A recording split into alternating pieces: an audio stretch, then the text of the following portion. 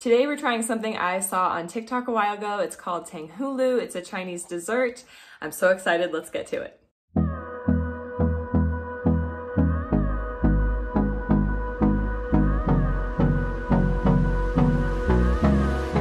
Hey there, welcome back to Lima Bean Living. If you guys are new here, my name is Emily. Welcome to my little motherhood channel where I take care of all things mom. I'm in the middle of a little series right now where I'm trying things that I've seen on TikTok and Tanghulu, I'm pretty sure that's how you pronounce it, uh, is something that I've seen a lot of people do. It's like a sugar water syrupy mixture that you make by boiling it on the stove and then you dip berries into it and it makes it like a crunchy candy type coating for your fruit. And I have strawberries to use up, so it's like the perfect time for me to try this. I will let you guys enjoy this process. I'll give you guys the instructions on the screen. And yeah, I hope you enjoy it and I hope I do too.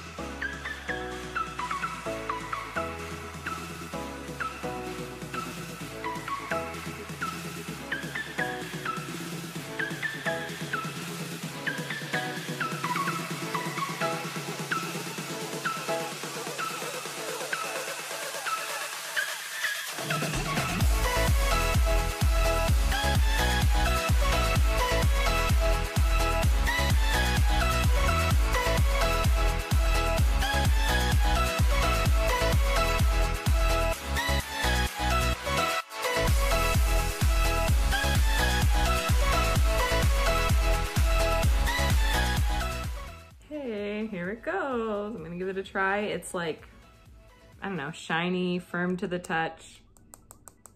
You can hear it. The berry is warm. The sugar coating is actually pretty thick. I don't know if you guys can see that. It gets like in the tops of your molars, it gets stuck in there, so I'm gonna have to let this dissolve for a little while. The warm berry is, is new for me. It actually kind of seems to change the flavor of the strawberry a little bit, which is weird, but it still tastes pretty good. I don't know if I'll try this again. It's kind of a lot of work and I kind of feel like if you don't cook it fast enough or dip it fast enough, I mean, that you're gonna waste a lot of ingredients, but definitely worth trying at least once. And that's it. I'd like to thank you guys for watching this video. If you are new here, I would love for you to stick around and subscribe. If you liked this video, go ahead and give it a thumbs up and I will catch you guys in the next one. Woohoo! You've made it to the end of the video.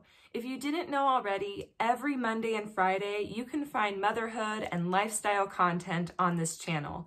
And since us moms have to do it all, that may mean yummy recipes, easy DIYs, mom hacks, cleaning and organization, or just a combo of everything. Please know that you are loved and you are made for greatness, and I will catch you in the next one.